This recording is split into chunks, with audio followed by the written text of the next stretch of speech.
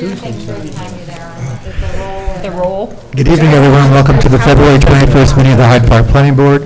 Please note that the normal exits are blocked at this moment. If there is some kind of emergency, you'll have to go out either the exit that way or the exit this way. And now join me as we salute the American flag. of the United States of America and to the republic for which it stands, one nation, under God, indivisible, with liberty and justice for all. I want to first thank my colleagues, especially Vice Chair Dexter, for running a very nice meeting that I was, that I missed last time, and I have to say, having watched it, it was a good one to miss. It was a really long one, so You've trained us well. we hope tonight won't take so long. The First item on the agenda is a new public hearing for a proposed project at the Culinary Institute lands. It's for a hotel as well as villas. Um, This is located on Campus Road and Albany Post Road. Gentlemen, would you like to come up and do a brief presentation on what we're doing? Megan, a motion up for the public hearing? So moved? Second. All in favor, please say aye. Aye. A brief description, Michael. Very brief.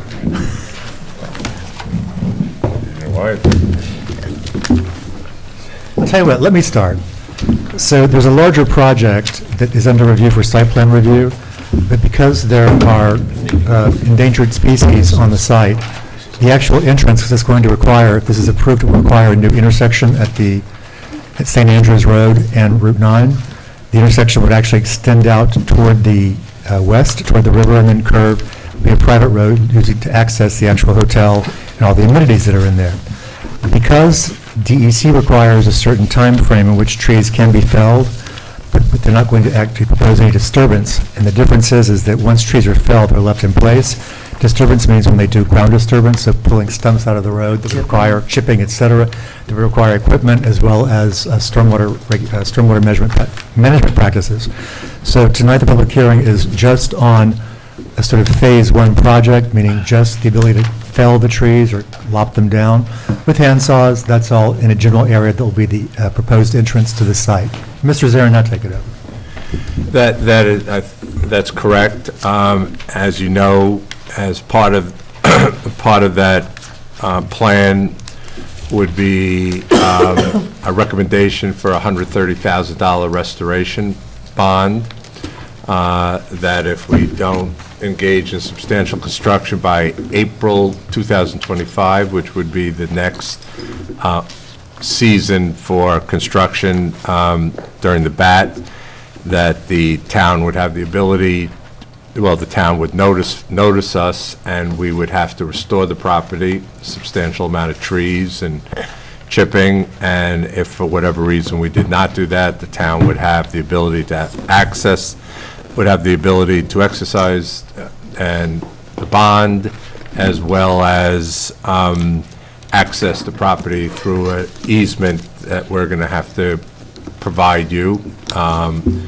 and, uh, and uh, perform that work. Now, I, I think that's be very remote. We intend to move very quickly and, uh, and do that work. Uh, Primary reason that the trees are so important now is that the first project, as a project that we're going to work on, is the road improvements at that intersection, which DOT has requested and was happy that we were going to put first, and, and then have the access road. So that's, I think, that's summary.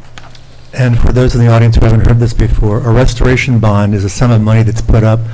Our engineer works with the applicants. I'm actually saying this because I think we have some new people in the audience who I think are here for a project or some sort of want, need to do this for homework or something. So um, this would enable the town, you're going to see a bunch of trees laid down, so it won't look the same as it does now. And if for some reason the application is approved, but it never goes forward, there's no financing or something, this would provide the town with the ability to go through and actually replant trees, the same quality of trees that would ultimately, when they're up top, provide roosting for some of the endangered species, which include the Indiana bat. So thank you, Mr. Zarin. I'm trying to use this as an educational forum for our young people in the back. Um, And thank you, Mr. Sotero, for working hard on this while we were away. Uh, Any comments, Ms. Franson? Ms. Moss? Mr. Sotero? Uh, No, we provided uh, uh, my comment letter. Any of the uh, minor comments are uh, included in uh, the resolution. And as you said before, that uh, a letter um, signing off on $130,000 restoration bond, so I'm good. Thank you. And Ms. Polito, any comments? Um, We all pulled it together in the resolution, which has uh, several conditions, but I think we have something that works to protect uh, the property, and it allows the applicant to move forward with the tree felling. And thank you as well for all the many iterations today that I saw going back and forth. Can I just ask, um, did we, Rob, um, Rob had that, had that comment about being able to access the property in case we had to enforce it, or Right, what so- was- is there, is there One of- something? I'm sorry, I didn't. We, there were several iterations today, as Mike pointed out. Um, Right now, as drafted, it would require them to provide us with an- a limited access easement before the planning board considers the next uh, approval. Okay, It's, it would be an accommodation from the planning board not to require it right now, because by the time we got it done, we would probably miss the tree felling window. okay. Um, It does mean that if they don't come forward for approval in a few months, we don't have that easement, but, you know, given their eagerness before the board, it's unlikely they will not continue Okay. with approval. We're placing some trust in the applicants, which I believe we can do, having worked with them now for several years. That noted, and that doesn't mean things always take this long. We had COVID in- that intervened in between when this application was first made.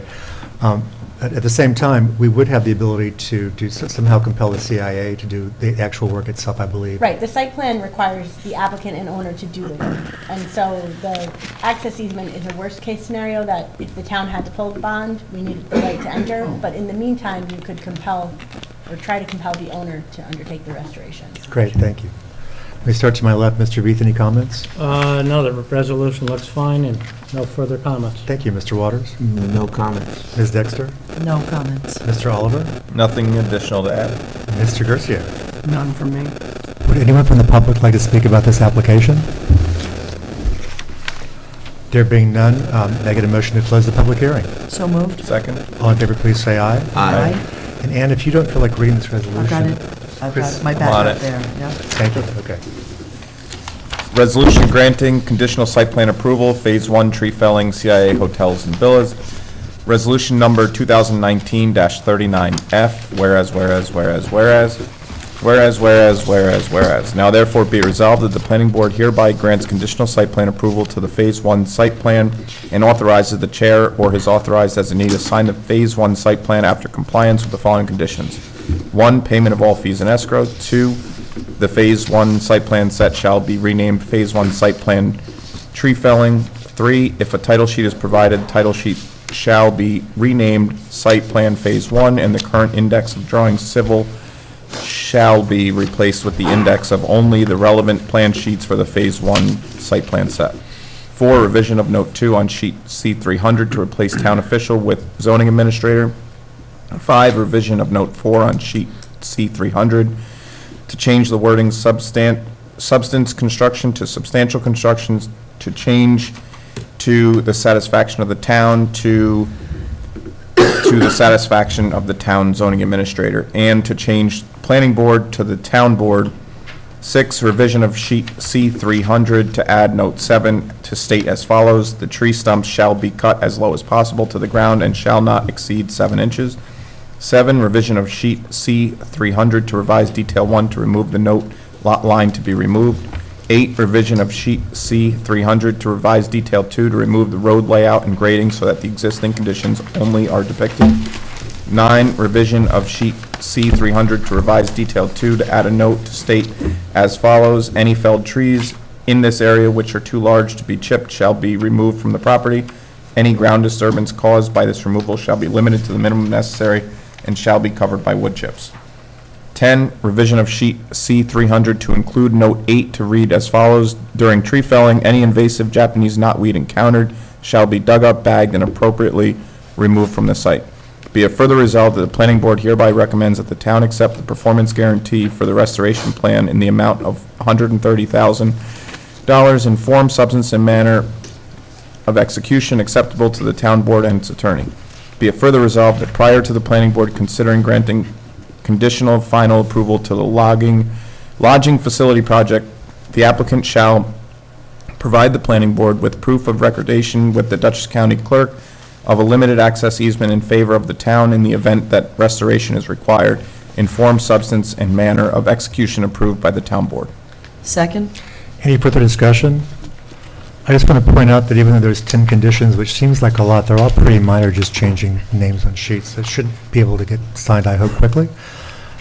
All in favor, please say aye. Aye. Any nays or abstentions? Motion carries unanimously. We'll Thank see you for Thank workshop you in very just a much. bit. Thank you for everyone's hard work on this. Appreciate it. Mr. Kaufman, come on up. The next item on the agenda is a continued public hearing for, I guess we're going to start calling it Crofton Mews again, because that's really what it's now been styled as. Crofton, just go back to I Crofton. thought it was, thought it was Carriage Trails. I changed it back I to thought it was town court, or what is it? County Central. Trail court? Lou, you're calling it Crofton Mews again, right? You dropped Carriage Trail? It started, it was known as the Carrot Trail, so we keep old names. Oh, so it was Crofton Mews originally, then it got changed by when Mr. John, the attorney, I'm forgetting his name? No. John Riley? Right. No, John Riley, they renamed it, when they were trying to market it for different owners, and that's when it I became. don't know, Carriage Trails could be any project, Carriage Oh, anywhere. Not just Carriage in the entire Trails, wait, country. not just Carriage Trails. It was town, Crofton Mews, It was town Crofton center. Boulevard makes more sense. it was town center, it was with the old-fashioned English townie and the Yes, centre Centre, for yeah. Town French. center. Centre. Towny So we prefer going back to Crofton Mews. At any rate, yes, it is. Uh, Making a motion to reopen the public hearing. So moved. Second. All in favor, please say aye. Aye. So this application is to extend the site plan deadline. Uh, Under our code, again, this is for a number of people in the audience, you have a year, once, once the site plan is signed, you have a year in which to start construction and two years in which to complete. This project is really, really, really old. It goes back over 25 years. As it's, it's never been really fully started, uh, there has been some site work done, including installation of water lines, uh, roads roughed out, some early stormwater measures taken, but to that extent, every time that it kind of revives back up, it's actually been reduced in the original density that was approved. In the current iteration, um, Mr. Kaufman, the project sponsor, is seeking for us to extend the time in which they can uh, complete construction. However, while we're extending the approved plan, there have been changes to the approved plan required by SEQR mitigation. Um, When this has got, kind of got revved back up again, it went back to the Department of Environmental Conservation. There are more environmental studies done. The studies show that there were actually now, the wetlands have migrated. There were wetlands that migrated into a northeast section of the property. There were housing and roads there. That's actually been also discovered to be prime Blanding's turtle habitat, meaning it's good for uh, breeding, breeding grounds. So the DEC required the applicant to lose density in that area. So what we'd be approving ultimately will be the originally approved plan, but there'll be some new sheets put into it that will show what the mitigation requirements are by the DEC. Just putting that in for the record. That, sorry, that noted, before the DEC and the other uh, agencies can start renewing uh, permits that were originally provided and lapsed or some that weren't pr- necessarily provided, the planning board, as lead agency, must undertake a- seeking a SEQR review. Because we had the new information about the Blanding's turtle uh, habitat, as well as the changes to the wetland boundaries, We've done everything else, updated all the other portions of SEQR. Bonnie, our consultant, is going to mention tonight some even further updates than what we have uh, already that we've all looked at and intend to adopt. And they're minor, but they're basically changes also led by the DEC, as it turns out.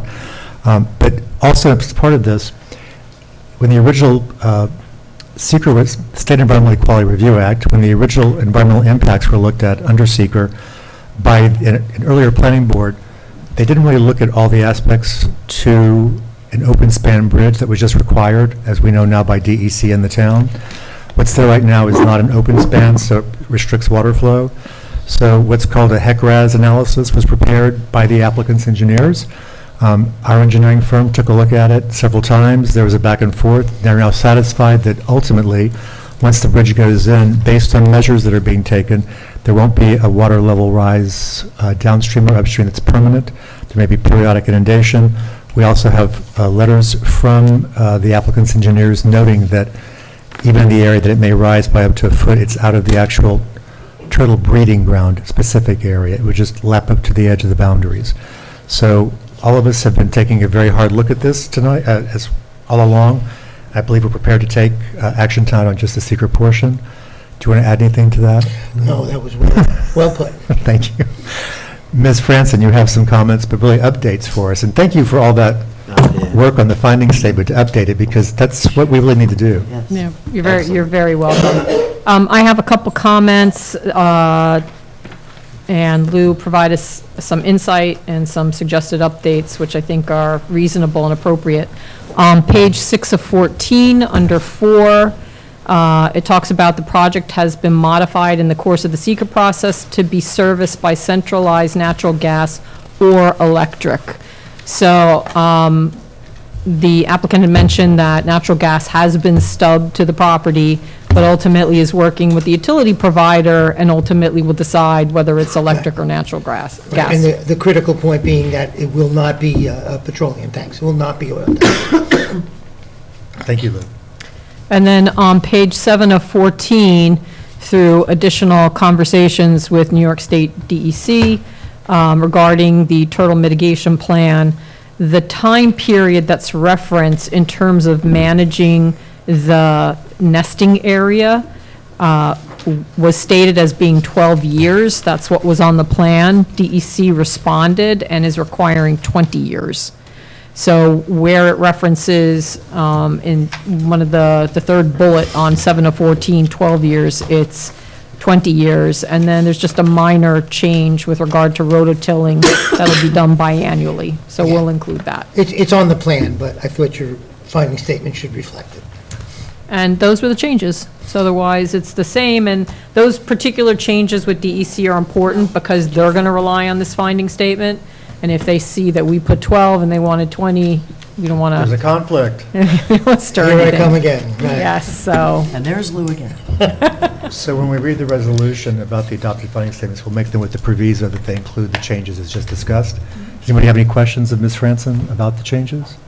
Again, these were dictated by, well, I should say these are dictated by your choice, whether it's going to be gas or electric, but it still will have the same net effect, and the rest are DEC oriented.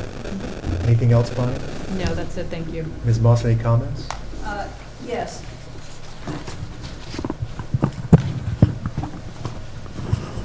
Uh, I just want to make sure that you understand that in, in Bonnie's analysis and in the, in the, no, the statement, the finding statement, that the uh, special use permit is required. It had expired, and I don't believe that's been applied for yet. By Um, you? I have, I thought I did, but. You may I'm not have. sure. I couldn't find it. If you find it, send it to me. Well, you know, it's the one with mold on it. Yes. We're toast. Um, Just as a reminder to the board, while we were continuously extending this, uh, back in the day, Ann and I, Chris, um, we assumed that the special use permit was also being extended, so SUPs run with the land, but they have to be, we'll call it activated or exercised, because um, they never built the multiple family dwellings, it never was actually activated. But under the old code, under the current, or the newer code, we'll still call it, um, multiple family, multiple dwellings also always require special use permits to look at the impacts on neighboring properties as opposed to under SEQR, the community-wide impacts. Um, And, but back then, the reason why we didn't know was because when the new code was adopted, the planning board took over special use permits, but back when this was originally granted, it was done by the zoning board of appeals. So we weren't really aware. Um, I should have thought about it because the zoning board of appeals wouldn't grant them anymore anyway. We would have been doing them ourselves, but at least we caught it finally. Uh, So we can make, take that as corrective action now. And that's one of the reasons why we're confirming, we're updating our SEQR findings, but we're not extending it quite yet because we want to make sure we have the special use permit that's required before we could really uh, extend it. So, Ms. Moss, thank you. Mrs. Darrow? A couple things, um, the last two things that were, in- that were in our court before we could take uh, a SEQR action, you you already mentioned the um, HECRAS analysis, which is the floodplain uh, analysis that um, looks at the current light conditions with the four or five 72-inch culverts, uh, what the elevations are now, and then what the elevations of the Carmel Creek will be after when they put the open span bridge in.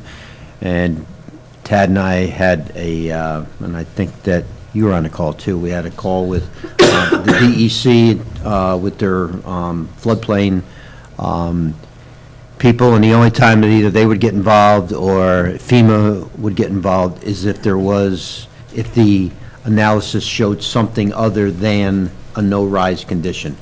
But the analysis, after, after a couple uh, back and forth between our office and Lou's consultant, um, you know, the uh, analysis is uh, acceptable. We wrote a a letter to that effect. Uh, The town can't issue the actual floodplain permit yet because there's a section in our floodplain um, ordinance, floodplain permit ordinance that says uh, that other agency uh, approvals that are, that uh, affect the stream have to be uh, obtained, which means the DEC permits. So the letter, uh, can, Lou can take that letter, give it to uh, the DEC. It'll show them that, you know, we're okay with the uh, analysis. We can't issue the permit yet, but that should be uh, enough to get him going through the process with them.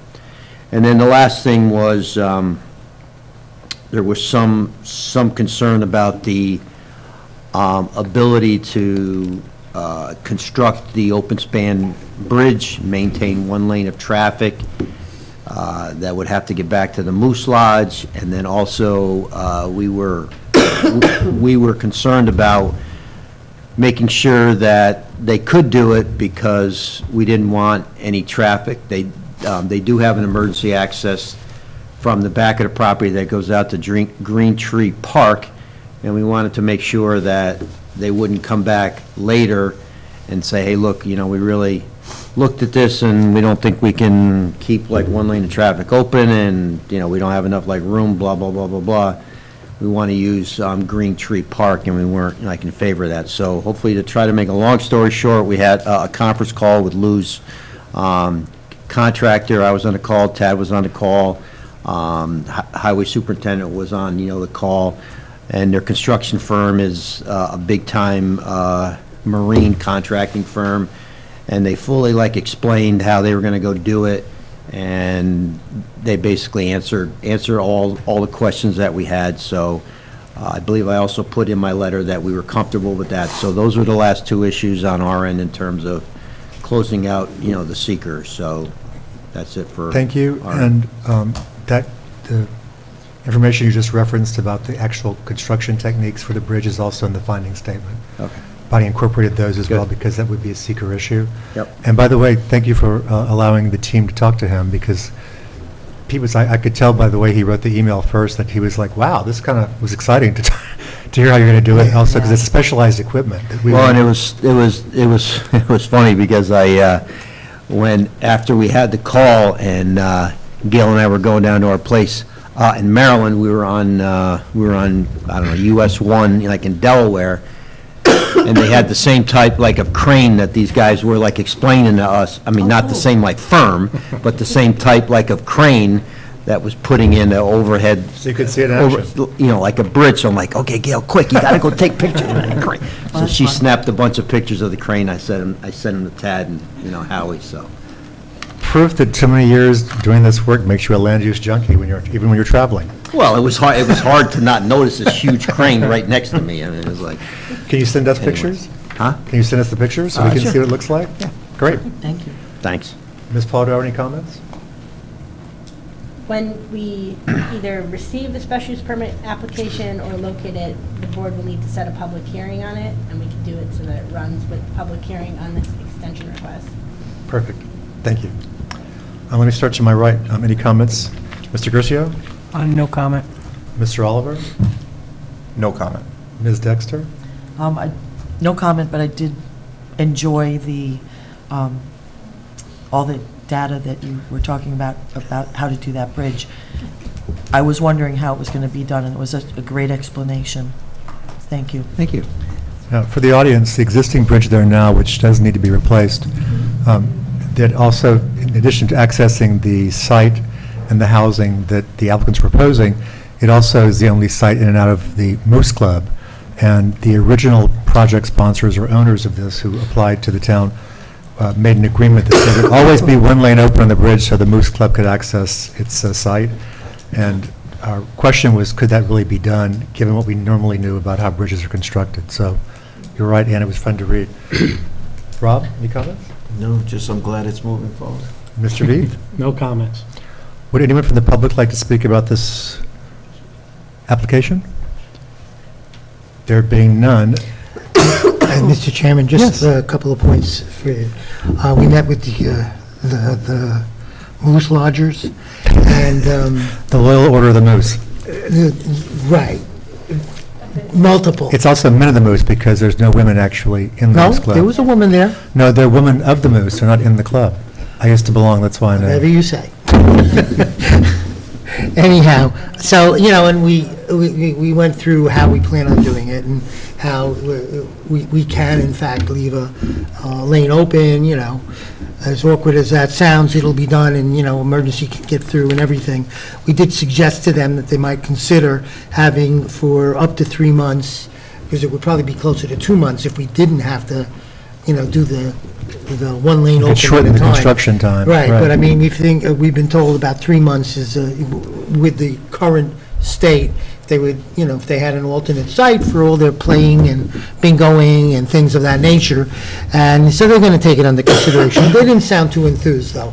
So, you know, at, at the moment, we're ready to do what we have to do as the plan is. If, if it be, you know, if they are willing to, you know, uh, uh, let us get it done quicker, great. I would let the board know, obviously, as well as the engineers, so we could, you know, do it, uh, put the bridge in in a more standard form. So, uh, um, in any event, so that's that.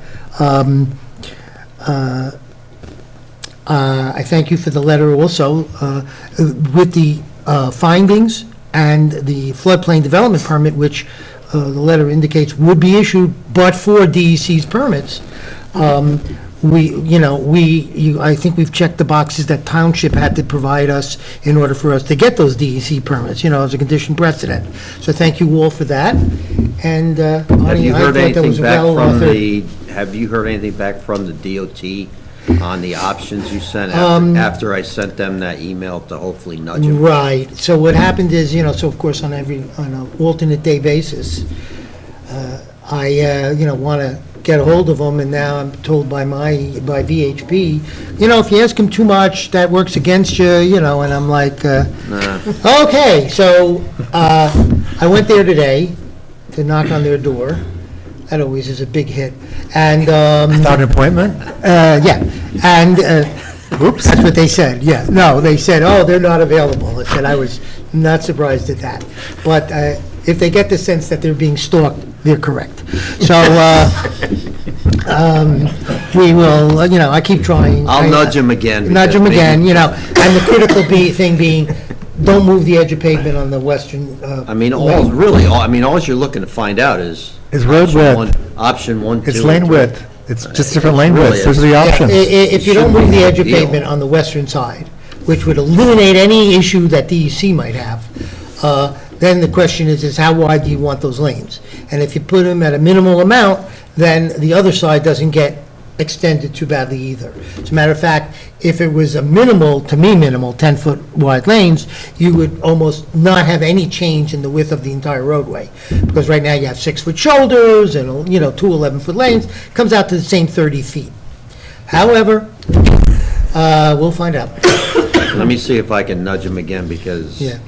I have to talk to him about something else I was just going to say, do it, should- would it be helpful if you and I attended a meeting again? That's how we moved Well, the I mean, uh, it's hotel and really, CIA I mean, all it is project. is just like you just said. It's, okay, you want 10-foot lanes, 10 and a half, 11. I- But I feel What as do you though want? if the phone calls were falling on deaf ears. No one's actually going over and looking and saying, let's pick, you know, eeny, meeny, mire, mo. It sometimes helps if the town is there for it. Well, Yeah. just to... Well, let's see. I mean, They- I You know, just- I got a reaction back that they had to check with their real estate uh, department and you know, Oh. see where the size of the right-of-way was. Okay. And they said, could you have our surveyor send you, send us the right-of-way? Oh, so they wanna To which my double-check the right- surveyor okay, Pointed so- out that we got the right-of-way in, uh, widths from you, but we sent it to him anyway. They All right, actually, So let's see what happens in like a week, maybe, all right? Chris and I both worked with DOT, it's part of another volunteer organization, about doing some tr- street tree plantings, and we discovered quickly that they don't have records of where all the right of, rights of way are per property. Well, they've exercised some over the years, but- and they haven't updated the inventory, so to speak, so they actually rely now on applicants, which is a little crazy, but at any That's why we rate. said the right-of-way extends right through the middle of that house, that's right. No, I- Whether or not they accept that. Yeah, No, look, it's really a simple, you, you pointed it out, it's, a, you know, 10, 10 and a half, 11. Pick. I read the 10 you know, options, that's 10 I it. know, but Yeah. whatever you do, don't touch the western side. and the eastern side, the reason I- why the worry is there is because you'd be encroaching into that gentleman's already not very big, or that gentleman, that family is not very big front lawn. No. Uh, So when do we want to adjourn this public hearing to?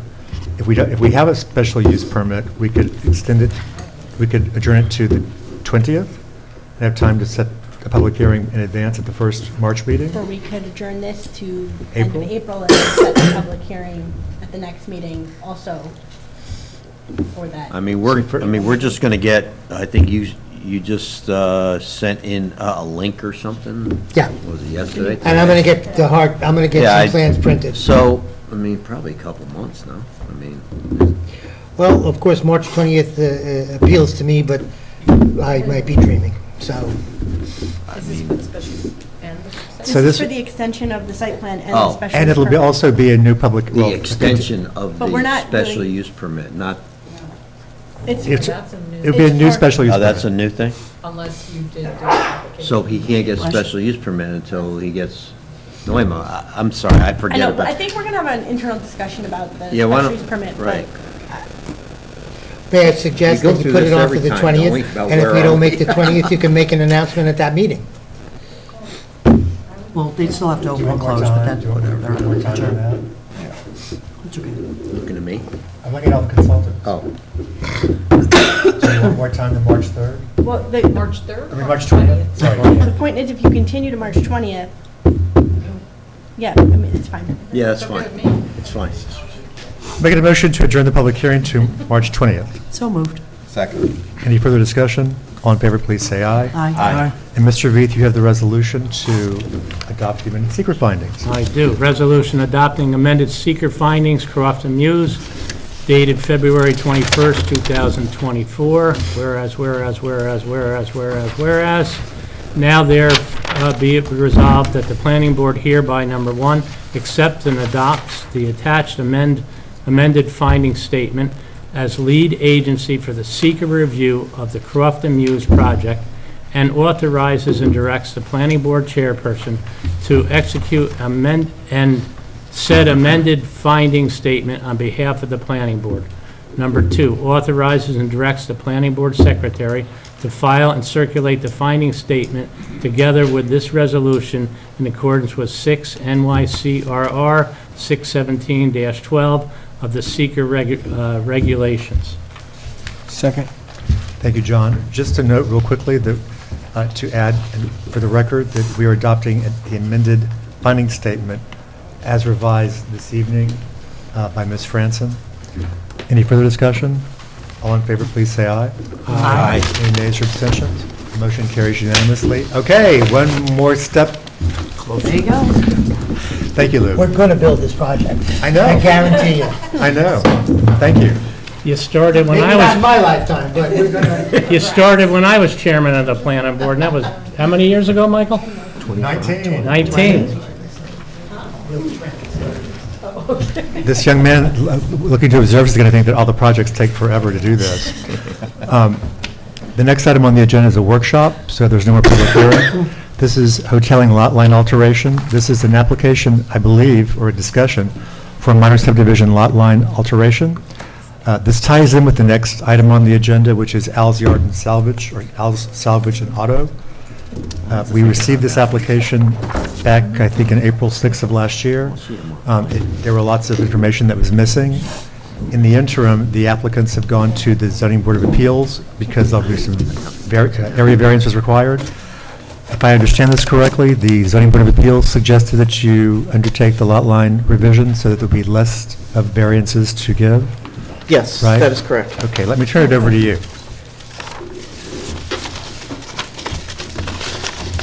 I'm sorry. I'm turning it over to you. Okay, I didn't hear what you said. Uh, Good evening. My name is Marie Welch from Welch Surveying. On my left is Tom Cummings, on my right is Al Hoteling. Um, At least they were supposed to be here. I talked to Tom yesterday. I talked to, I stopped at Al's garage on Friday, so um, they did know about the meeting. I don't know why they're not here. Um, So, yes. We'll um, pretend they're here in spirit. Casper. So the lot line alteration is taking place on a division line between two lots that Mr. Hoteling owns. Um, At one time, uh, if you've, excuse me, if you've looked at the plan, I have an existing conditions uh, sketch up in the upper left-hand corner, shows how it is right now. And then I have tried to uh, show what is going to be with the change into the, um, by changing the lot line. The current existing one-story frame dwelling is, I believe it's 9.6. I knew I had one other thing I needed to get out.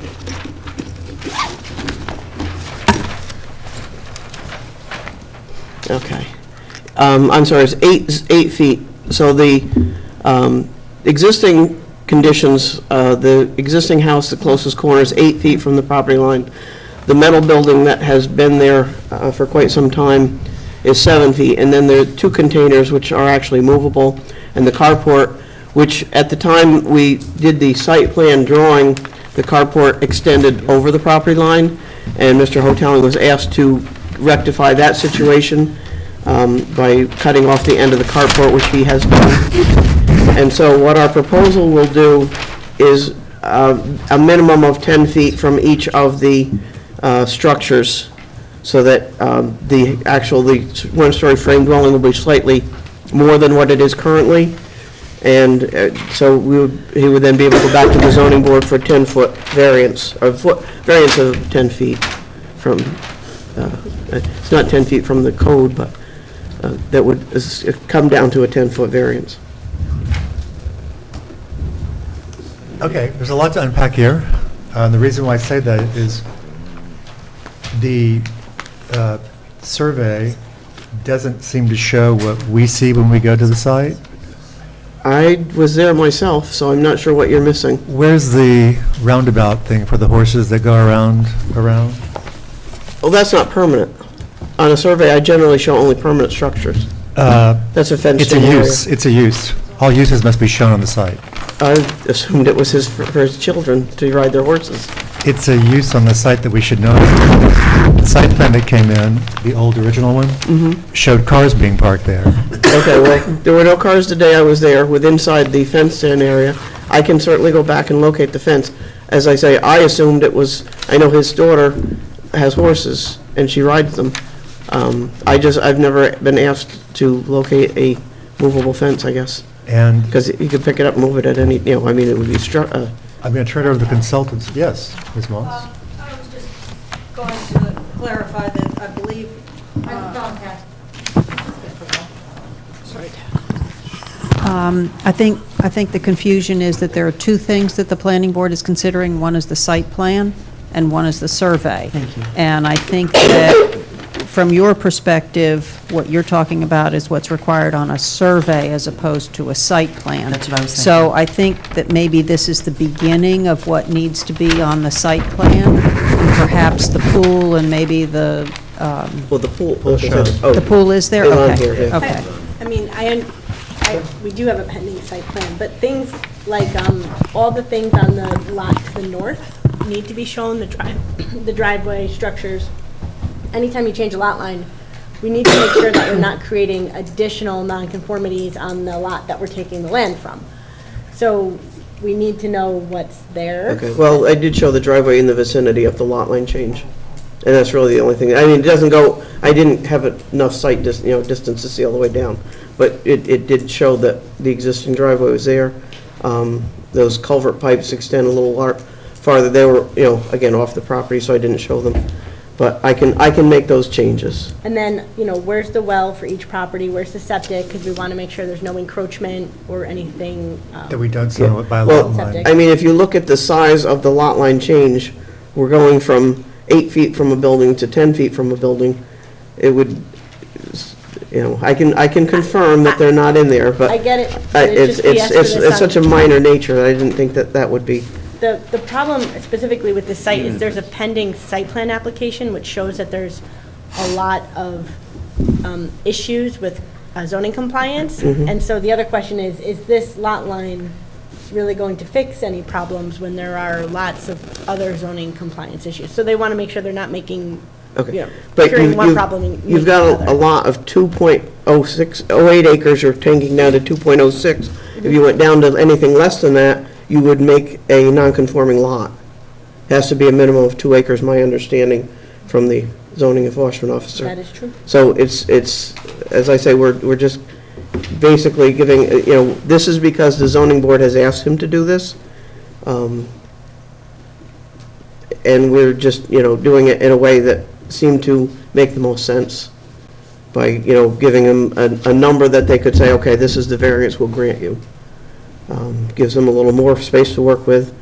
Uh, But, yeah, I mean, yeah, the parcel A is 0.02 acres. We're, we're certainly not, a- and there's no, you know, a- again, you can't tell because you haven't been there or haven't at least looked at it in that determination. But I can, I can add the driveway, I can add the, the wells and septics. Yeah, Approximate, I mean, you're not gonna, well, you know, like the Yeah. wells, like you might be, you might be able to Well, see he, them. I'll have to have the applicant show me because I, I, will- you know, the wells, I mean, And back can be then, approximate. they probably did them underground. Now, Do they need all, uh, do they need to have all of, you know, the structures on the two point, the two point, uh, lot, lot number two? Or just like within, Well, so we, the, the problem is we need it for the site plan. But, but again, would you need the stuff on the other lot for the site plan? Yes. Because he's not, is he doing a site plan on that lot? Because I wasn't, that's just, So, that's just. Let me just be candid here. Things were done without approval by the planning board or the building department, because he has multiple violations. I wasn't very kind to the person who should be sitting to your left last time, because he didn't have much information on there. What he had didn't seem to be accurate as to what was really there, it existed. So, I'm not going to say that this is what's happening, but it appears to be that both lots are being used for the auto salvage and sales, both lots. mhm. I can t- There's lots and lots of aerial photography that you can see that there's lots and lots of vehicles over on both sites. So that's the reason why, if he's going to get an approval for the unapproved structures, et cetera, then we need to know what's on both sites. We need to understand the sites if it's being used as a single continuous site. That's basically it. okay. So, and as I said, I can show you, I just unfolded the map, I believe others did Well, as I've, well. I've but- looked at the aerials, I've, No, no, but with the map, with the first site plan that Tom uh, proposed to us, right. sort of had higgledy-piggledy cars everywhere, but they, he didn't show the pool, and I said, "Yeah, there's a pool right there. So I applaud the fact that there's more information, but we probably need a little bit more on the other parcel um, to do this. And this is an application, this isn't actually a pre-app before the board, this was actually paid for already, Tad? I wish we'd had an- a pre-app meeting on this, just to- just with maybe some planning board members, but, um, okay. So the request isn't just for the variance, we need some more information on the other lot to make sure that we're not encumbering or doing something wrong. Um, Obviously, it appears as though that the driveway that you're showing, this labeled macadam driveway, is being used by both sites too, to enter and exit. Um, Well, he, he owns both lots. I mean, if I No owned the offense, lot but that that doesn't, were, no offense, that doesn't matter because he can sell each one individually. and anyone who would buy it would know that that condition existed. Yep, um, it- which would, then he would still have to provide some sort of easement in the future. Uh, But at any rate, Or he could put a fence, a gate up and not allow anybody to go through. could do that too, um, depending on who, who, what the neighbor relations are. So let me start over to, Bonnie, do you have escrow for this? No, No, not for the okay. lot line. Um, Ms. Moss, do you have any comments to add? No. Mr. Sotero, any comments? No, nothing other than what, you know, you've already mentioned. Ms. Polidoro, any additional?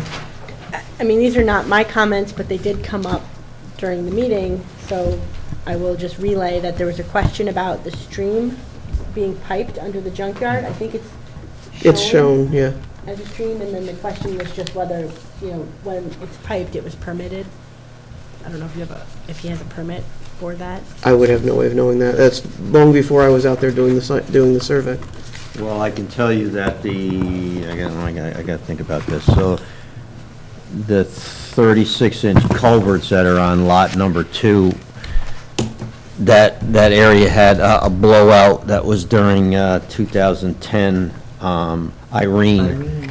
And that whole, that whole road you know, was closed and the town had to replace, we've got a culvert that's just a couple hundred feet further up and we had to replace the culvert. At the same time, his uh, driveway had washed out, so um, Tommy Gleason, I think, ju- just, I think he just put those culverts in then, at that time. So, I mean, I don't know that there was a permit, because it's on private, you know, property.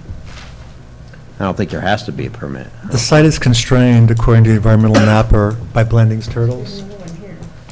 Just letting you know, um, when when Tom was here, uh, they did not provide that information because they didn't use the environmental mapper when he filled out the original EAF. If you look at the EAF here, it shows it. Even though I'm not, because it's already disturbed, I'm not sure that any Blanding's Turtles is going to be using the site, but you made it even more, even less usable by Well, I hope channelizing not, the water. not- not Yeah, there. they'd be dead. So, At any rate, um, continue on, Ms. Polidoro, any other comments? So just, um, the zoning tables, it would be helpful to have one for each of the lots, what the, you know, what the requirement is, what the pre-condition is, what the post-condition is for both lots. You, you sort of have the achieved after the fact, but it would be good to see what it is before, what it is after for both. You can send a, you can say- Anything else?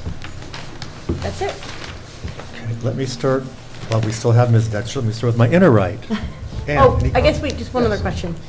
Because this is part of a larger, a larger site plan, I would want, I, I guess we could call it type two as just a lot line change and segment it from the review of the full plan? I just was But commenting on this to. uh, I don't know how to- To Ms. otherwise, Whitman, that I don't didn't know think how we should, I this. didn't think we should bifurcate SEQR on this. So then, Because the, the, the the lot line alteration is only being done because of the site plan requirements. so then we're, we're in a catch twenty-two where you need the full site plan before you at the same time that the lot line's before you, at the same time that they're doing the variance, which is probably the most efficient way to get Mhm. through the process. But the applicant needs to understand that everyone's gonna have to keep moving all the pieces forward, because the board's gonna have to complete SEQR. In other words, we could hold a public before you hearing. can even- A joint public hearing on the uh, subdivision as well as the site plan. Mhm. We could close it on the subdivision as we move forward if we thought that was valid, so it could still, that portion could move forward, let- allowing the ZBA to act at some point. We could complete SEQR at some point before it's ready for approval, but. Right, in the absence of segmentation, you have to consider it one big piece of land. I don't see how you s- do it otherwise, because there'd be no reason for them to propose this, as you, ju- Ms. Welch just pointed out, it's teeny that you're moving it in relation to both sizes of the lots. Eh, that would be my question. It's like the zoning, we can't, we can't get the zoning board approval until we get the lot line approval. I know, that's why I was just saying it's a catch-22, but Yeah. I think the site plan has to proceed along with the subdivision. Okay, well, uh, my understanding was it was going on, on tonight as well, but, uh, as you can see, the, the other party, you know, I can't speak to the site No, plan, I didn't right. work Yeah. on that. No, right. But I can, uh, I mean, I did, I gave, well, I, if he's submitted a new one, the one he's, he submitted to you was not from my drawing. No, he's not submitted a new one, I assure you. Okay, well, that's why I say, I, I have provided him with the updated drawing, so he should have revised his site plan to address these comments. I mean, I'll have to give him another one with the other location that we have to do. But, um, in the meantime, um, you know, li- like I said, once he took the carport end off and there was no more violation over the property line, I wasn't sure why the the zoning board couldn't proceed with a variance without the lot line change. Unless it's just that, you know, they felt that this needed to, I didn't attend the zoning board meeting, so I don't know what their reasoning was. We won't either, we don't either. I don't believe you. Um, Ms. I- Mossman. I think I'm supposed to inspect uh, each site that has a license every year, and two years, three years ago, I observed illegal construction with an extension of that block building, Mhm. and told him he needed to come in for approval. He didn't. The next year, it was closed in, it was completed, so an order to remedy went out, and that's why he's here. Okay.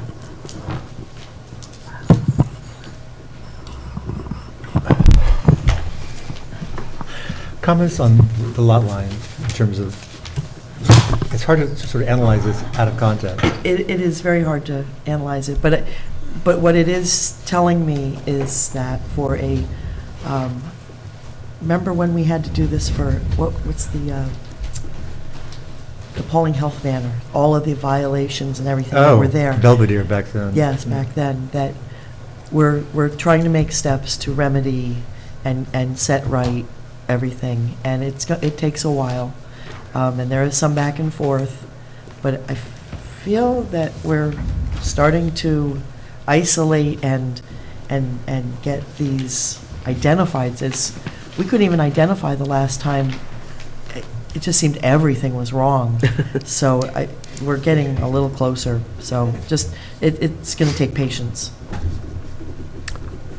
Good comment. Mr. Oliver, any comments?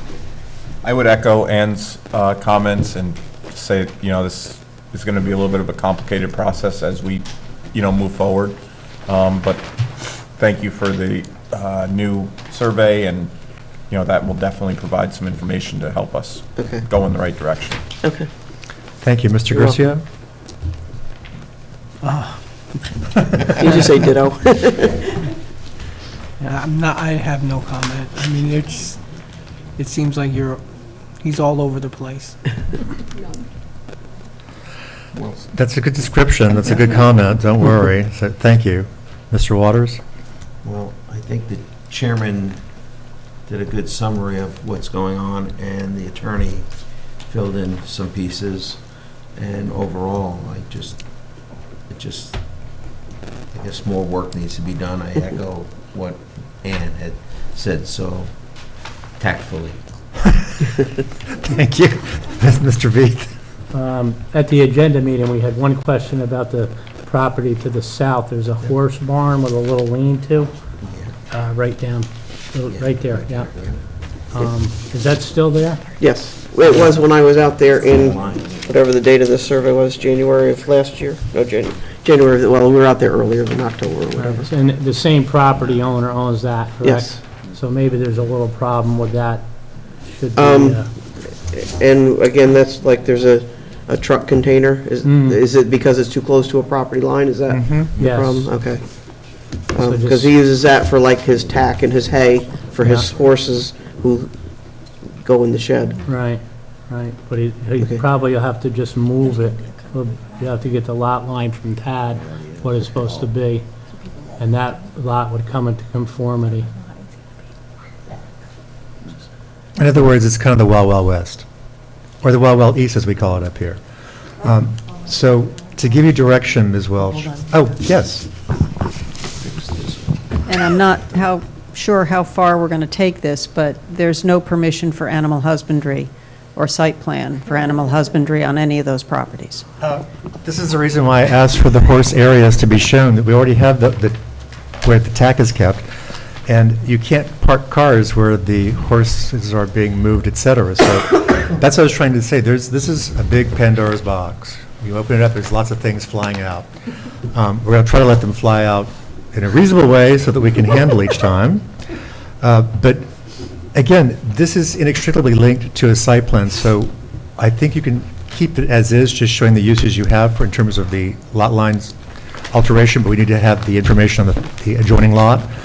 But we also should, should have a real site plan, a, a new site plan submitted, so we can an- understand what all the moving parts are. And I'm certainly not trying to dump on you, um, because the applicant should be here, or the actual owner should be here too, so he can help us understand all of what's going, all those moving parts that are there. Um, Because the engineer who represented before didn't have the answers either. Uh, And I'm not even sure he'd been out there to see everything, because when I said. No, I, I believe he was out there because he had measurements that he was going to give me for the buildings. I said, no, I have to go out and shoot them myself. You know, in order for me to sign the map, I've got to actually locate them. Then There's a reason why all the steam came in my ears last time, and my head turned around five times before it spewed vomit. Because I wasn't being told the truth. So, he claimed he didn't know what the horse thing was. I'm like, it's right here on the aerial. So, at any rate, um, can you go back and speak with your applicants and the other consultant, Mr. Tom? Um, And can- t- to explain to them we need to have a new updated site plan and this, and we can proceed with them together. It doesn't mean that we can't take action first on the subdivision. Uh, We just have to do SEQR on the entire site, and that means that Ms. Moss may have to address the animal husbandry issue. I'm just saying, if you look at the entire lots together, the the reason I'm questioning this is, I'm not trying to say he has to do this with his property. because everybody has certain property rights, but your property rights don't extend around your neighbors as well.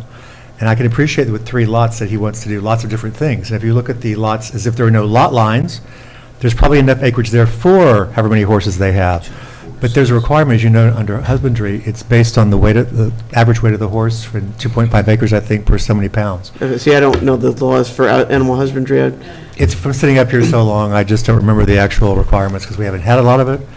But it is based, and we have to, ref- actually, we re- usually refer this to Cornell for their opinion on the animal husband- husbandry application, um, because the state has a vested interest in this as well. I mean, they want to, they actually want to see more agricultural uses like uh, animal husbandry. But I don't think that, given the size of a lot, that there's going to be a way for us to prove it unless there's a different kind of lot lot line alteration made, is what I'm trying to say. So here's what I would say. If you would like, um, most of the people that are left in here, applicants can tell you that we do what are called offline meetings. So it's like a pre-app, me- uh, it's a meeting where we can discuss, there's not quorum of the planning board and no decisions are made, but it's a way to provide direction to tell you what next steps need to be done. In other words, what I'm saying up here would be probably better detailed in a meeting that we would have in this room with Tad, uh, maybe one of the consultants, but certainly uh, Ms. Polidoro, our attorney, to move forward. So I'm just offering that uh, as uh, the next step, or you're free to have the applicants just submit the next things as well. But I'd like to talk to them first so we can make sure we understand what all should be shown on it. This isn't a very pleasant thing for you, I apologize, but when I saw this, I was like, oh no, it's come back. So, I mean, we want to clean this up. I mean, he's, he wanted to address the violation, so, he- you know, uh, again, the zoning board kind of said to him, you know, come back with a lot line change so that you can address a variance, you know, and that, to me, was the reason for coming here, was for the lot line change. It is, but again, because there's a- a, a site plan, Yeah, right. but I wasn't they don't- involved in and the They site don't know plan. the site plan is even before us, I don't believe, because it, well, they do, because it was referred to them for the variances in the first place, what am I saying? But that's not the final site plan we're going to see, because it didn't show, in other words, if they, if the ZBA saw the site plan we had, we can't approve it, there's things on top of things that aren't there. It's unapprovable. So it would be better if that had been sent, if it had been a newer site plan, more updated, that would have been sent to the ZBA. And as always, I'm not trying to criticize our, our sister board, but if they just tell you that and you spend the money to make it, it's better to have a pre-app meeting with us. It's free. There's no charge for it, and we can give you some better guidance like we've given given tonight. So, but an offline meeting, we can at least say, does this look like a better way to solve all the problems that are there? Or would it be better to maybe dissolve one lot line, whatever? We, we, these are all just options that we can discuss. We do want to work with the owner. And I think you can't dissolve one of the lot lines because you've got residences on each of these parcels. You know, so you would, you would wind up with two residences on one parcel. Do- do- you- You're allowed two single-family houses if you have enough, if you have the proper density, which this has. Okay. So, yeah. But again, you know, the two and a half acres or two acres, I, I- I, you're not gonna get two acres on the, the southern lot. So, I'm just letting you know in terms of Yeah. what might need to be done. Given- Right. Again, this is tied to a site plan. The site Mhm. plan, we have to approve has all the uses that are on it unless he's willing to get rid of some uses.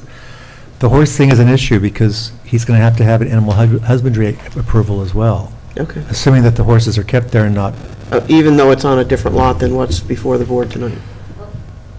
Let me just put it this way, that's not my, that would be uh, up to Ms. Moss and the ZBA to ultimately determine, Mhm. for that determination, but I if thought the the, ring was on the. the ring is on this lot, so in other words, I even didn't hear you, Victoria. Oh, I was saying the ring is on the subject. lot. Right, but the, but the animal husbandry, that, which would I assume is the barn with the horses in it, is not. the whole, the whole, Thing. the whole thing is animal husbandry, because that's, size. right, that's how they're exercising the horses as well, so it's all part of the same use. So, but we'll work this through in an offline meeting first, so that will make it easier for when you're up here before the board to proceed more smoothly ahead of time, so. Okay. Thank you for your time. You're welcome. And Thank you. Thank you for presenting this, and we'll be back in touch. Okay.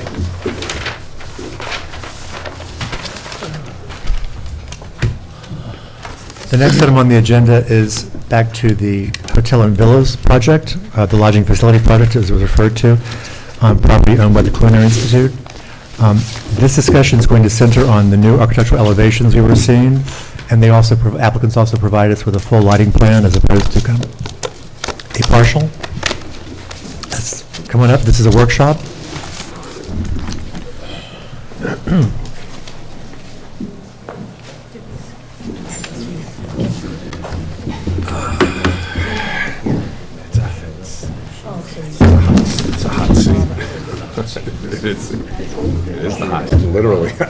seat.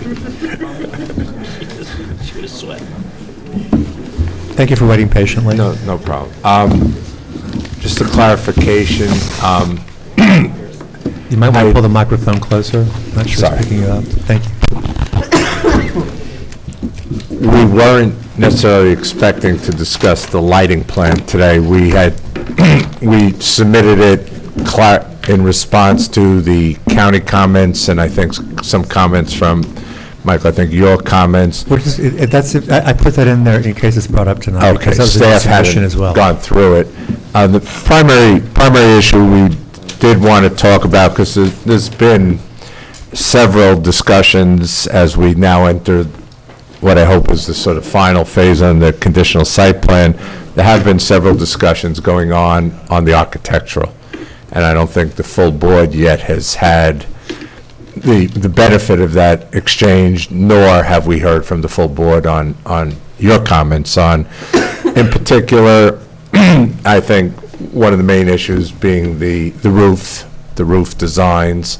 Um, You probably have had an opportunity to read our cover letter and the Gensler attachment discussing some of the discussions and some of the rationale for what we've submitted, including, you know, we, trying to integrate the Greenway standards, the St. Andrew district standards, and the general code, you know, development standards, uh, and they sort of overlap and, and sort of complement each other and and alike. So I'm going to turn it over to, to Michael, and, um, you know, look forward to a, good, good robust discussion.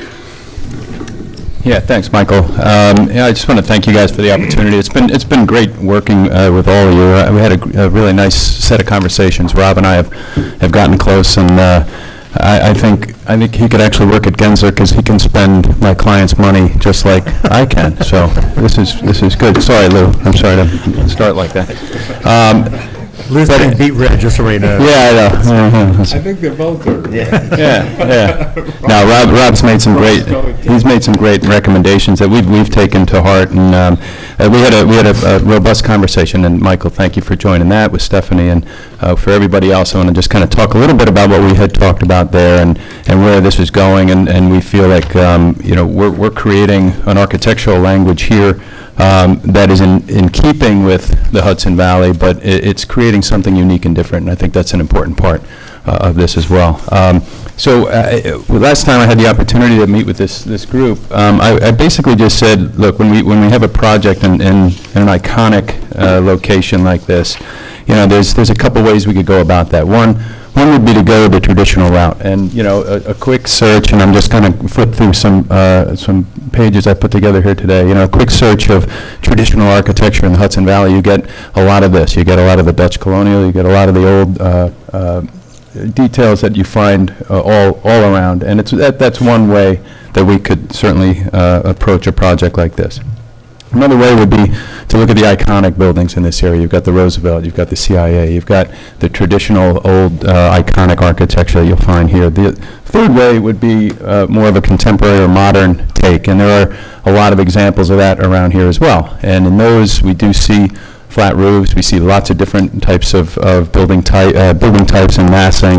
Um, and obviously, based on what we've created, um, we're kind of in between, I think, here uh, uh, in our, in our development. And I'm going to jump to the roof um, narrative uh, diagram that we put together at your request. And I'm actually glad we did this, because it did, it did show us something. It's interesting, you know, when you draw the line, uh, uh, here, uh, Unfortunately, north is to the right, Architecture 101, sorry about that, but here it it makes sense. The Hudson River is to uh, to the, uh, to the uh, page north here.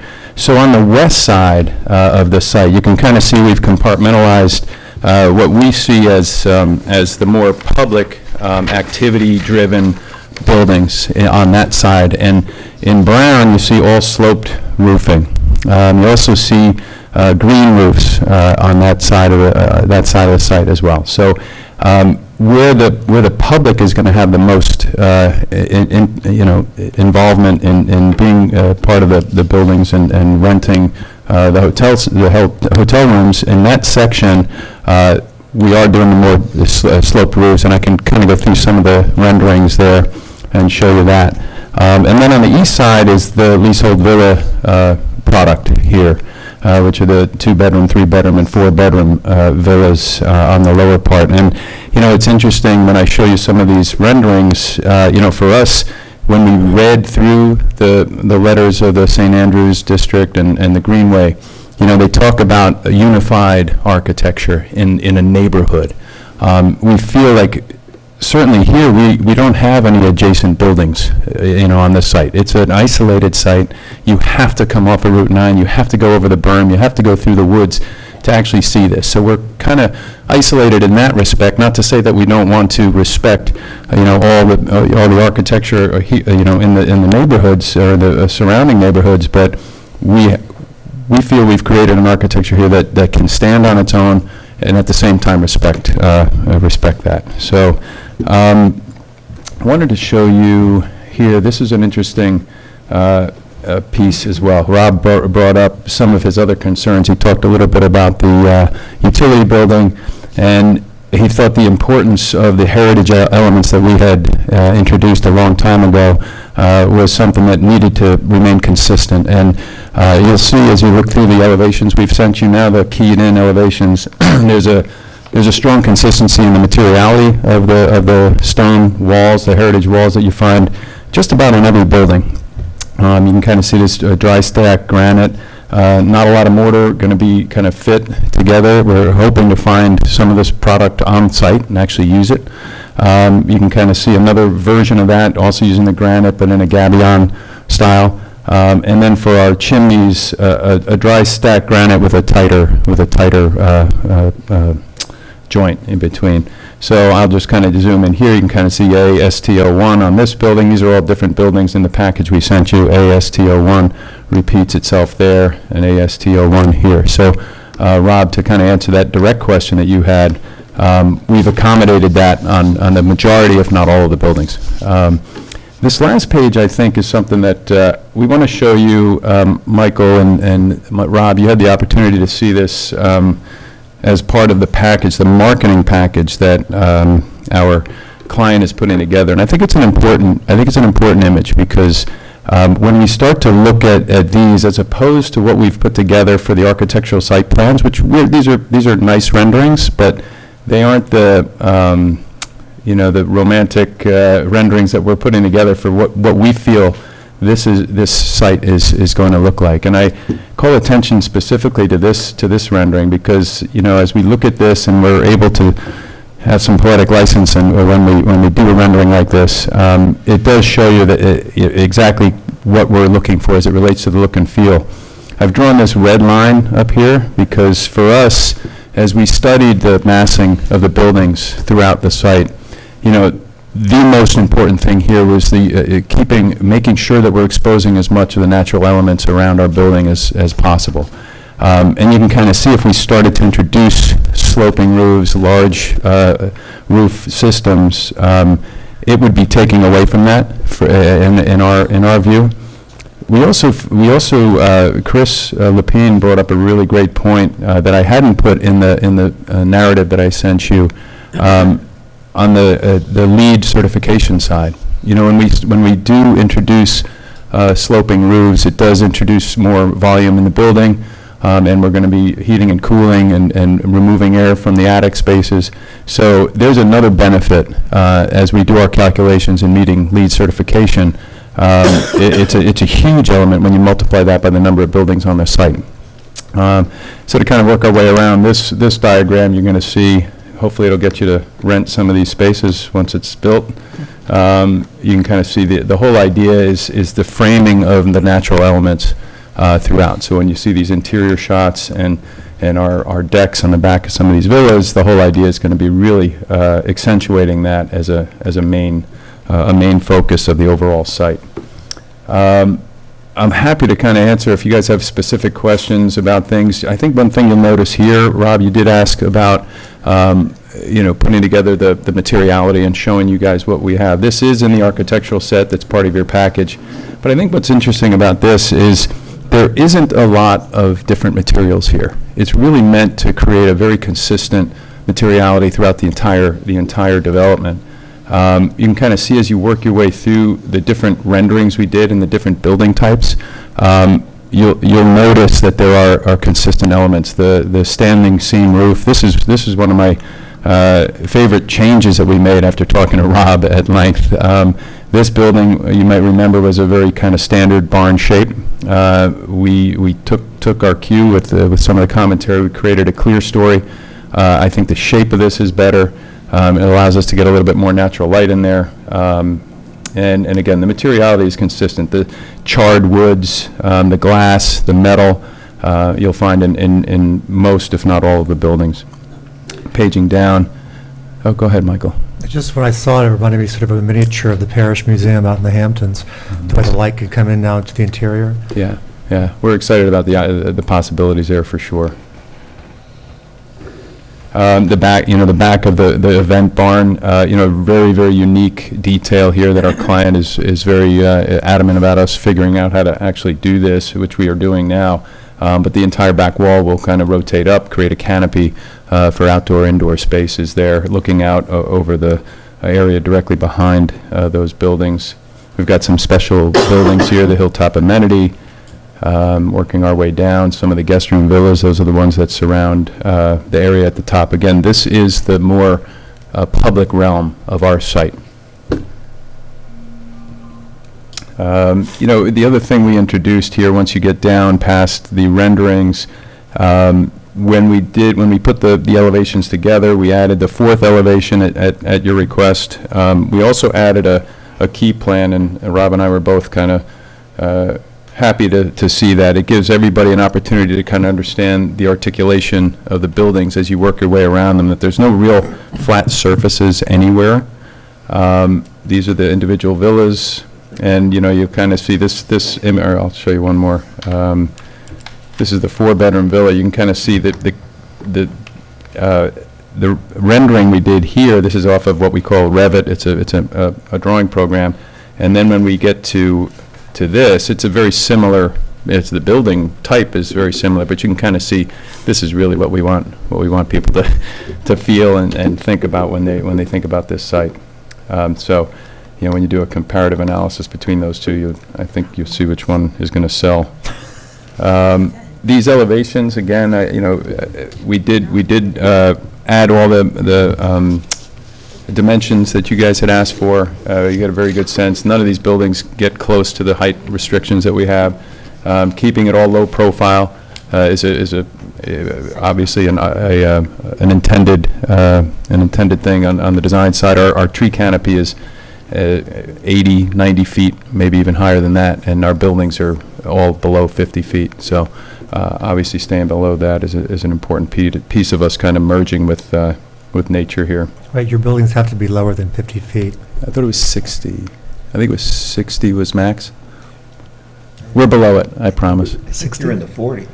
Our- Ours are. They're in the yeah. 40s, so I thought you were in the 40s. We are, yeah, the, uh, Or the ones, below. or below, exactly, exactly. Um, This, again, this is the, the main event, uh, event building. We introduced this, uh, this chimney element, which will have kind of an indoor-outdoor fireplace. Um, Again, at the, uh, this is another recommendation Rob had early on uh, that we, we took advantage of. Um, You can kind of see the building is, has articulation all around, all four sides. And I'll kind of, I can open it up now, uh, you know, if anybody has any specific questions or wants to see any specific elements on the site. Um, You know, our goal, our goal today, guys, is to get to a point where you're comfortable. I think so far, it's been a really nice dialogue, but, uh, you know, we, we want to tie this in a bow and, and and get it to you so you have the, the opportunity to really dissect these drawings. So before I call on my colleagues, I just want to point out something for their consideration as well. The uh, restriction, or prescription really, against flat roofs starts out of the code saying, because it doesn't blend with the traditional architectural style of the town. There's not a lot of architecture over in this area, as you've said. And in addition, if you look at the adjoining site of the Culinary Institute, while it has Roth Hall, a very famous historic building and design, Just on the, just on the south side of it, they've got some 1960s dorms that have flat roofs and are pretty hideous, to be honest with you. No offense to the culinary. Then you have uh, the old uh, diner, fake diner that was there for so long, and then you have the dorms. Uh, Each one of these is a different architectural style that doesn't match, so it's really kind of a hodgepodge. In this case, however, your, the styles that you're, see- that you're sort of providing have a blend of that 60s, but improved because of the materiality and the newer dormitories. So I could argue that you already have buildings that are similar to this in the same vicinity. In addition, I think that in the center of town and most of town where you have residential combined with, with uh, commercial, you do have some traditional architecture, and we value those, and we've strived to, like, say, for our McDonald's, McDonald's architecture, as you, you see their standard stuff, doesn't look like this one. This is more traditional in design. Um, And that's what we try, to- that's what we strive for, because it's in the code that we're supposed to create this sense of place within Hyde Park itself. And one way to do that is to say, I know I'm in Hyde Park because there's a certain architectural style that I see repeated. In this case, the public's not going to be going in there on a daily basis, and they can't really see much of it from Route 9 anyway. Um, You can see the utility buildings, I believe, and you already heard that most of us were like reacting in horror. Um, But that noted, I don't think that we're setting precedent, in other words, by permitting to have a different kind of style in this specific area. Number one, it does have different, some different standards. Building height is one of them in the St. Andrews District. Um, And another, that's a general, again, guideline that flat roofs should not be, exist inside Hyde Park. But as Ann has pointed out too, and she grew up here, there's plenty of of residential homes that were permitted, including right by me along the river, that kind of have that Frank Lloyd Wright, well, if you close your eyes and imagine, there could be a falling water sort of look there. Um, But we'll, we'll say at best it's mid-century modern. So you already have a range of styles, and for me, again, if this were really visible on Route 9, I would have a different viewpoint of it. There's a reason why the hotel across the street from your project looks the way it does. They were trying to ask us about an architectural style, and we thought, okay, so you have Roth Hall, you're going to have a really tall building here, why not have something similar and compatible, so there's a visual echo, in a sense that when you're entering Hyde Park, you're going to see maybe buildings of this quality. That's not to say that these buildings you're proposing aren't really high quality, because they are, I know. Thank you.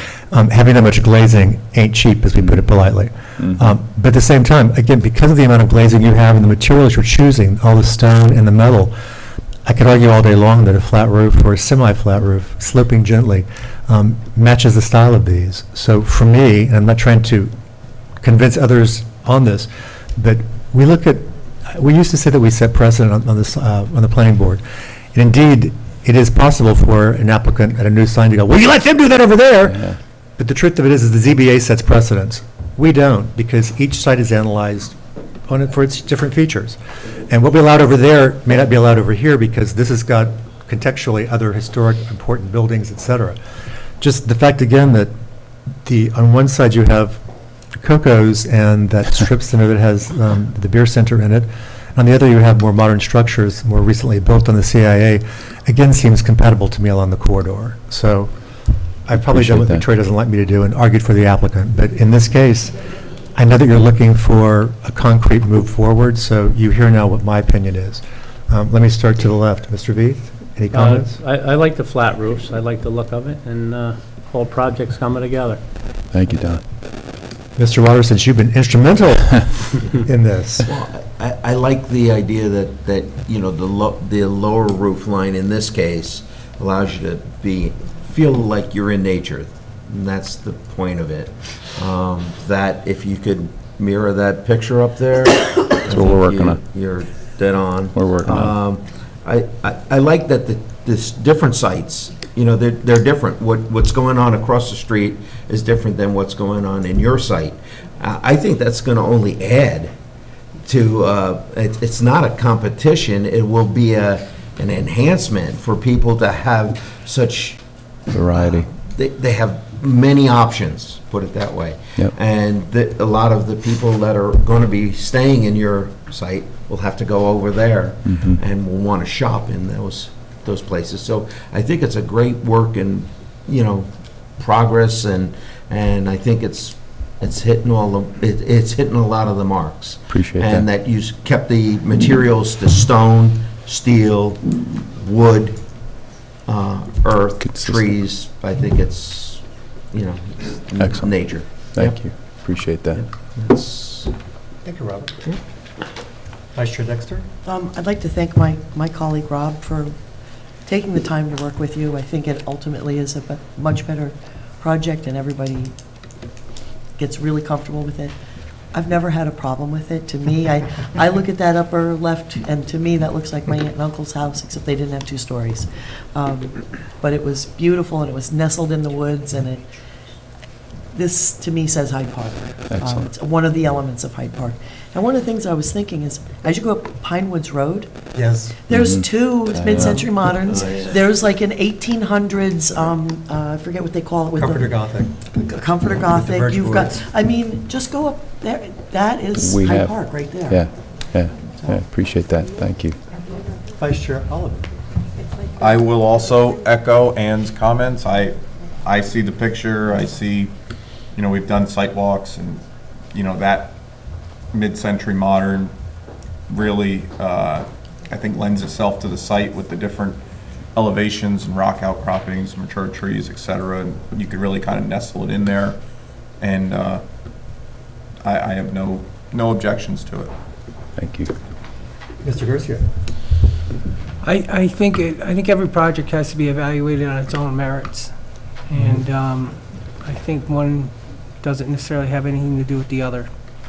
I've worked on a lot of houses, built a lot of homes. I've built contemporary, colonials, etc. And uh, this looks to me like it's going to fit the land perfectly. Great. Appreciate that. Now you have direction. Ah, excellent. That's fantastic. Yeah. Appreciate it. I think Michael's breathing. He hasn't, he hasn't, you haven't been, you haven't been breathing for months. It's- Lou- Lou's putting the oxygen tank back in his bag. Lou That's just maybe gonna a be all little day. calmer too now. Yeah, I think both of us let out.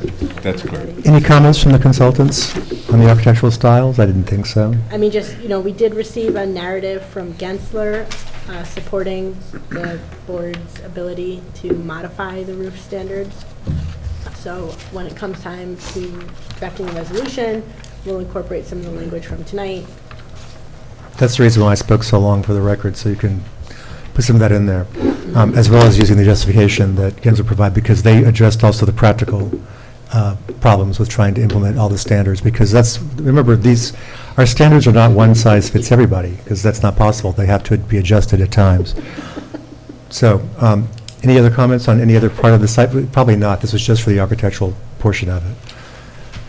Looks like this is solved. Did you, did you want to discuss tonight at all our subdivision application? I, I know at one point, um, we submitted that, and I, I don't know if any, if people had an opportunity to look at it. It's the minor subdivision, so we can merge the sites, and We have it on for March 21st. Right, that's on March 21st. first. Okay. That's when it was set. Okay.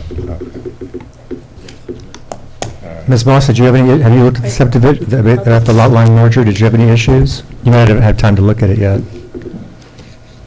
The lot line merger? Yes. Uh, did you see any issues in advance? I just glanced at it, I didn't study it extensively, I didn't see anything either.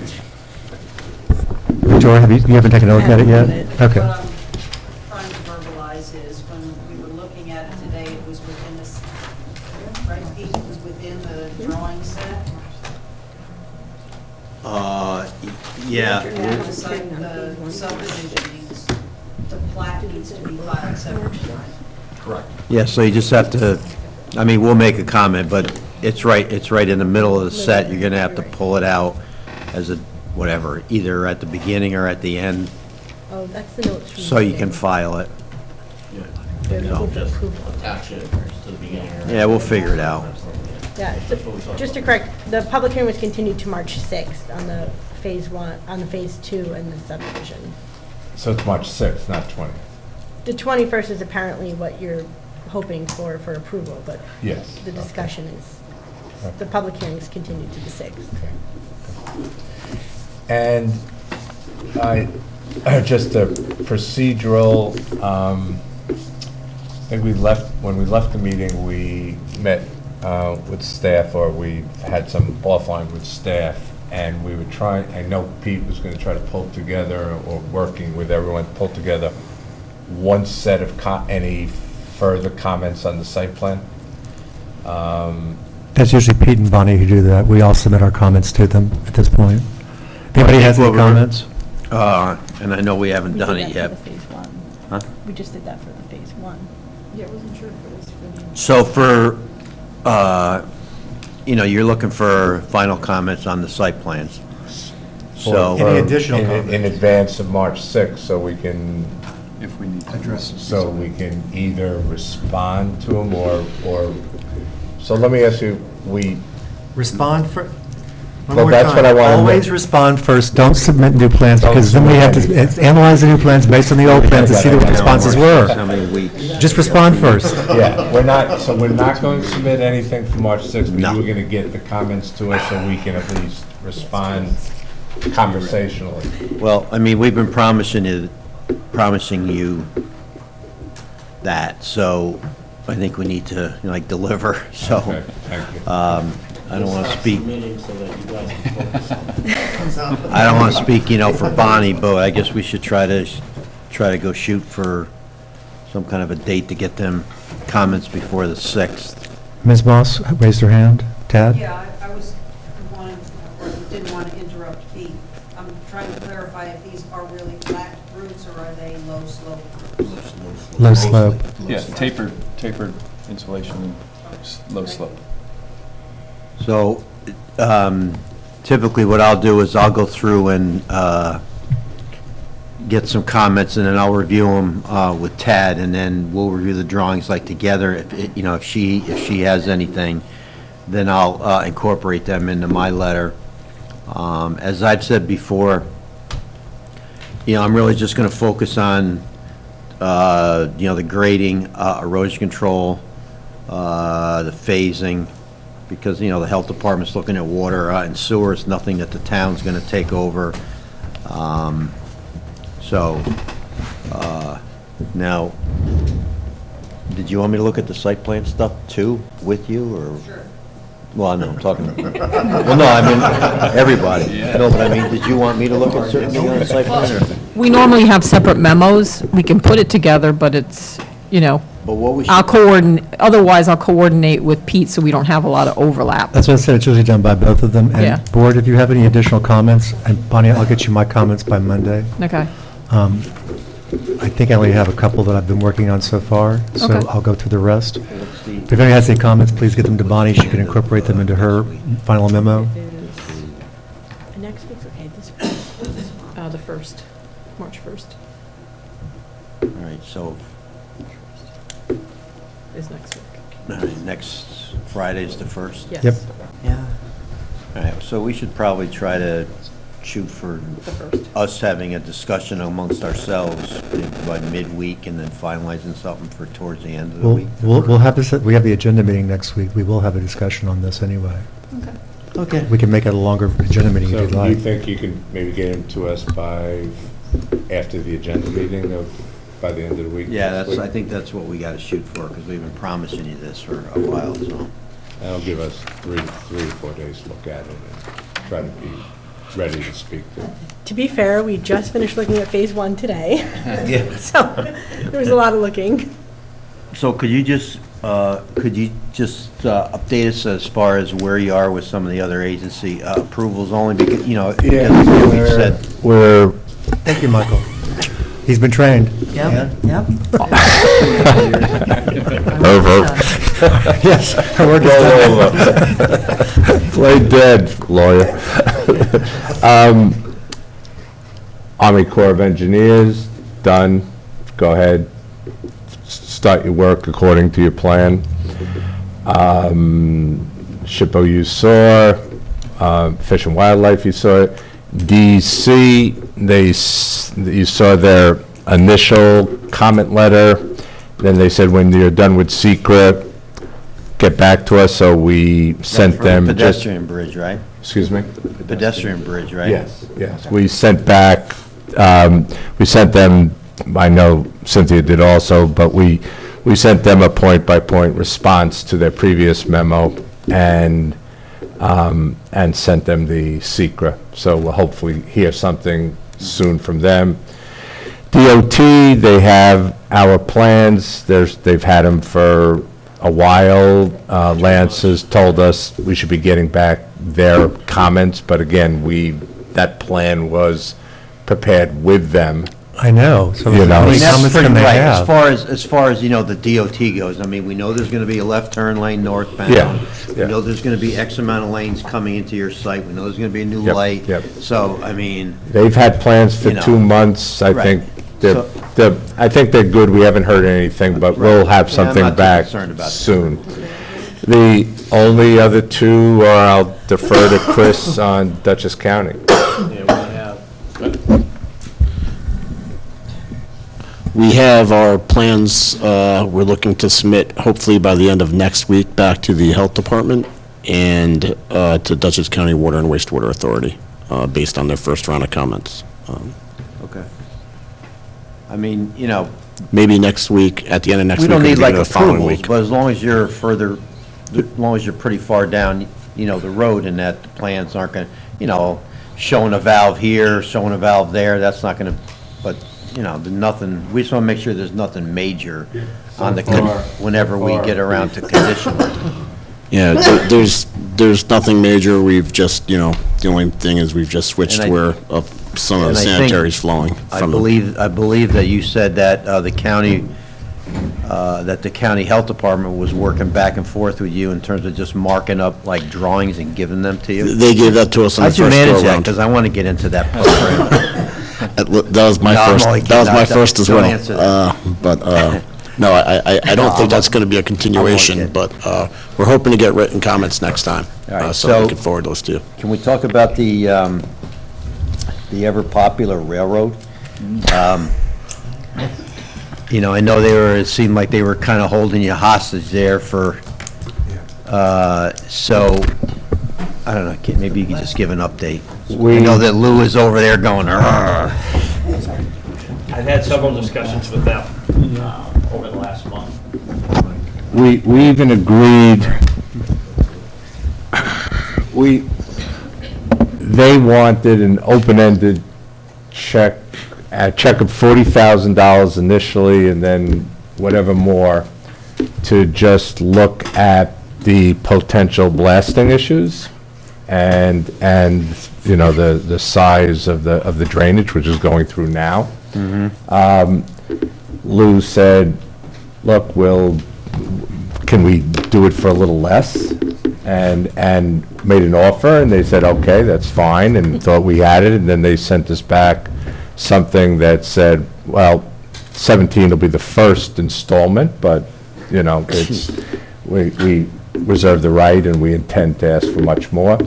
So I think we're at, I mean, Lou's been banging on the door, banging on the door. I think what we're going to end up doing is having to put into the resolution, we will, we will comply with all the monitoring and protocols, blasting Yeah, I- protocols. I, I and mean, we'll work da-da-da-da. something out, because I know, That's- I mean, I know from a couple past jobs, they're just impo, well, not It's- impossible, but close to Difficult. impossible. Yeah.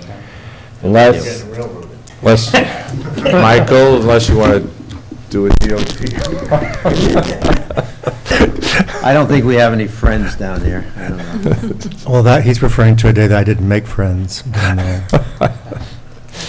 All right, that's fine. So you're, so you're moving, uh, I, we've Okay. numerous conversations with them. no, I know, I know. Cars. I know, I knew, Outreach. I knew. it I know was you made. know. Why so much? Are they retaining professionals to do the review and that's paying for it, or just, uh, hey, you gotta pay us this? Um, Be careful, Luke. They originally said 40,000, and actually, the second time around, they went up to 53,000 Now, wait a minute, so that's, that's, for a tabletop review. and that's not even, that's not even the cost of their guys to monitor, to basically Nope. plant them there. That would be additional on top of it. Oh. That's the, what they wanted me to sign for a contract with them, is that it was open-ended. Hmm. Basically saying that the minute I started signing this and they started working on it, fifty-three thousand was the initial cost, and it was just gonna go from there. It, it's, We are. Jeez, I mean, you know, we're, I mean, we're easy. We're cheap. We're cheap. All right, you. I'm that's happy to fine. share it with you if you want to read it. No, no, no, no, no, I don't. It's just, I don't like that kind of stuff, but that's fine. And look, we're gonna have to, like any other structure that's within a re, you know, within a reasonable certain range, you know, of the blasting protocols, we're gonna have to follow them religiously, and we're gonna have to do monitoring, we're gonna have to do our own meters, and we're gonna have to do, I'm sure, pre and post, you know, documentation and all the others, so we're gonna do it. All right, so, Just- Chris, have you got, has your office um, inspected uh, the, I mean, not, I don't mean go through it, but have you looked at the culvert going underneath the tracks? And you're comfortable that it's in acceptable condi, I mean, the water is going there now, so, I mean, Yeah, I mean, we and we're look- doing a stormwater pollution prevention plan that's gonna, s- I believe it says that, you know, you're gonna be mitigating what your site, and again, I know we're at the Hudson, so. Yeah, we're, we're we're beating the peak that actually goes through there. So, All right, so we'll work it out. I mean, this, we'll work it out. i- it's capable of, of holding a, a rail car as it travels over it. Yeah, I mean, and they're pretty, they're, they're pretty, uh, They're pretty heavy. yeah, and they're, they're like pretty good about looking at all, you know, their crossings to make, because they got trains running over. Their focus was much more on Well, I think their focus was on something else, but, You know? Okay. They were okay with, I mean, we've, we've sent them all our documents. It's not as if they don't Yeah. have our documents. They've had them now for yeah. maybe Okay, eight that's months. fine, all right. So, mm. That's good. So you gave us, so you gave us an update, we're good. Yeah. Even the letter they would give us wouldn't approve anything. It would stay, and, and the, the gentleman I spoke to said, the letter will say that further discussion needs to occur before blasting would occur. So basically, Says It nothing. wasn't even final. A discussion to have a discussion. We'll deal with it. We'll deal with I it. just want to remind everyone, the railroad has absolutely no permitting authority over this project. know. No, no, I'm just going to point this out again. They have no permitting authority. We're going above and beyond. We've already concluded SEQR, Trying to be kind. Being kind, but that's, the applicant would be undertaking some of this at their own risk, because if the owner of the tracks wants to sue them, they would sue them. Right. I, I understand. Just pointing that out. You're right. So there's one other agency who's still before, that's the ZBA. I believe that the uh, Dutchess County Planning required a supermajority. Do you know where you Sorry, stand? on? ZBA is February 28th. Um, As you all know, the county said four out of the five were acceptable and didn't, didn't um, deny it or, or negatively comment on them. Uh, The fifth one, the one they did negatively comment on was the 1,700 square foot grading, temporary grading for the spawn Pool and the Stream Car. That's temporary. There's all going to be replanted, it's all going to be trees and the like. They didn't even mention in the letter it was going to be temporary. Um, Didn't even cite to that. By, if we were not to do that grading, because of the topography of that area, we'd have to put in a 12-foot retaining wall, where now we're only putting in a five-foot open-faced one with all replanted area. So we made a submission, we sent a letter explaining all this to the ZBA, and I'm hoping they'll, they'll consider it. Thank you. Anything else, everyone? Look, what they were here for tonight, we got through the architecture. That was the That- big one. It was great. Thank you for the So- direction on that and, and everything else. And we'll see you Thank on March 6th already. March 6th. Thank you. Okay, thank you. Safe travels back home. And the last, the last item on the agenda is Bellefield PUD Phase 2 subdivision.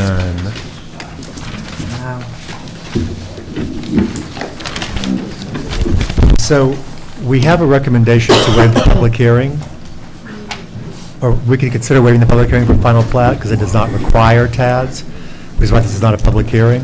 I'll write it tomorrow. Do you guys want to add something to, add more color and flavor to this? Yes? No, no, no, I'm talking to the consultants. Anybody have any questions on this? We all know what we're doing? No? Do you need a motion? To waive the public hearing, yes. I'll make that motion. Thank you. Is there a second? Second. Any further discussion? All in favor, please say aye. Aye. Any nays or abstentions? Motion carries unanimously. That is to waive the public hearing for this final plat per 96.4, 14B 7A, for the record. And now we have a resolution prepared to grant the final plat. Does anybody have any questions about that? Just a reminder, this was a- the plat, the board approved the preliminary plat many months ago. The new plat came in. It only contained the revisions that we requested, so there were no substantial changes. Any comments you'd like to make, Mr. Boudreau? No, you're just here to hear that resolution read. If there are no other questions, then I believe this is Rob's? Yes.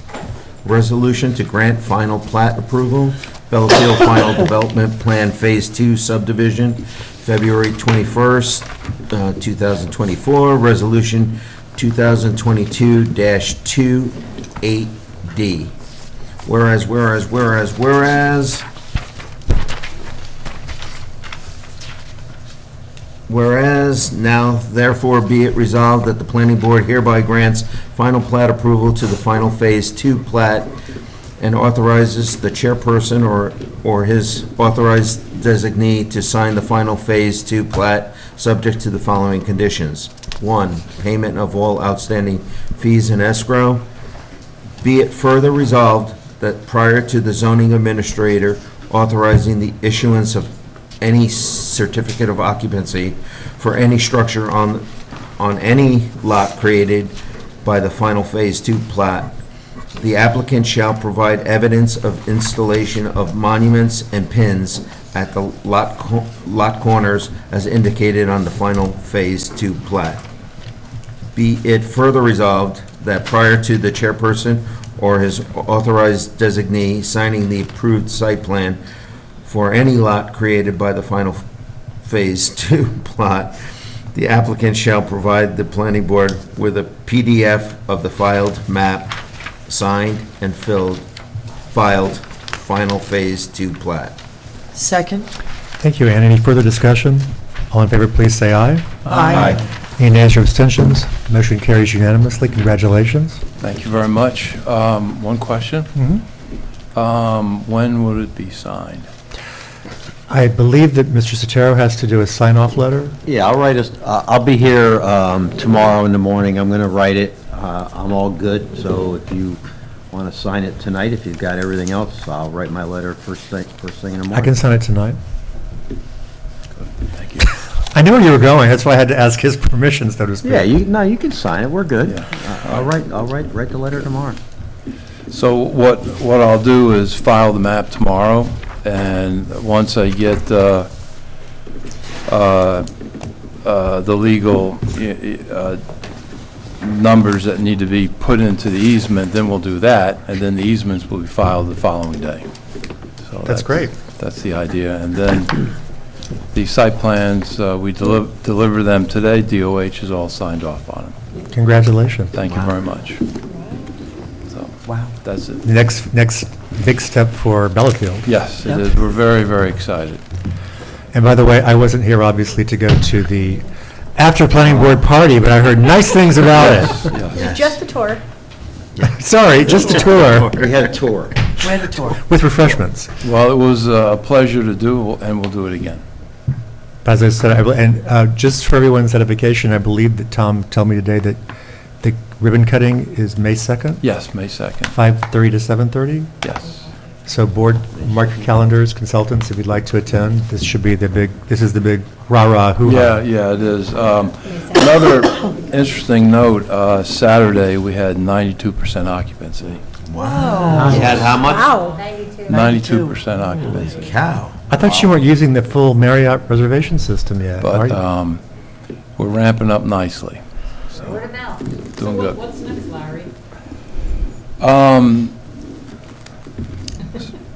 City Winery, apartments, Need Village better interest Green. rates, right? That's, that's what's next. Wow. So, City Winery, as I understand it, the, Tom told me that the building was designed, and then the owner of City Winery said, whoa, at the cost, instead of Yeah. being value engineered. That's what we're doing. That scary thing that we always hear about, value engineered. But at Yeah, any but rate, we'll, we'll get it right. We're Yeah. very, very excited about it. I was at an event where he said, I've been trying to get into Hyde Park, and I didn't want to say who I was, so I just shut my mouth. and grin. No, really? Yeah, unusual for me, isn't it? At any rate. That's fun. Good luck with those steps. Thank you for, for all your help. And I'll be staying here tonight to sign. Okay, thank you. Great. Uh, Reminder before we adjourn that the Relier site visit is this Saturday, uh, February 24th at 1 PM. Oh, thank you. At 1 PM. huh? Yep, at 1 PM. I can't be there because I have a board retreat. Um, and Actually, our facilitator for our board retreat is staying at the Inn at Bellefield. I said, he said, should I stay at the Marriott Courtyard, or where else should I go? And I went, no, no, no, no, stay in my town, it's the newest place. Um, That's that's an all-day event for, for us at the- on the Board of Trustees at the college, so I can't make it, but if someone would like to take just brief notes and send them out to anybody who can't make it, that would be appreciated. Otherwise, make it a motion to adjourn. So moved. All in favor, please say aye. Aye. Thank you, everyone. Thank you, consultants. Thank you for your patience. Thank you to the town board for providing the resources so that we're televised on Channel 22, and thank you, Tony, back there. Yes.